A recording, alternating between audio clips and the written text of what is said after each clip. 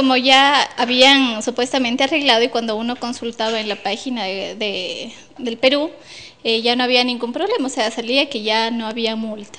Entonces esa fue una, una de las opciones que teníamos para, para el feriado. Ya con esa expectativa, aunque reconoce con cierto temor, se desplazó toda la familia hacia la línea de frontera. Cuatro.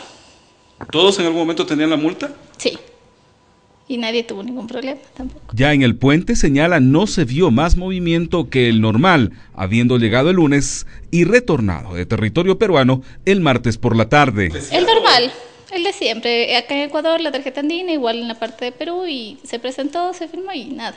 O sea, nunca le pidieron nada más adicional ni le mencionaron nada. No, nada, ningún problema. ¿El momento de salir salió igual por Macará? Sí, a la ida y el regreso fue por Macará y fue enseguida. En el puente internacional asegura todos los trámites se efectuaban con normalidad. Argumenta no pudo observar que alguien tuviese contratiempos. No, eso comentaba que no hubo ningún problema para nada. Estuvo de lo más normal, todo. O sea, nadie hizo referencia a nada. Nada.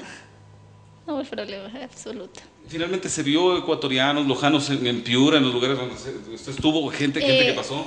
Sabe que yo fui a Piura, no fui a la playa, pero no, casi no. En la parte de Piura no, no había tanto turista ni nada de eso. Para Mundo Visión, Ilber Jaramillo.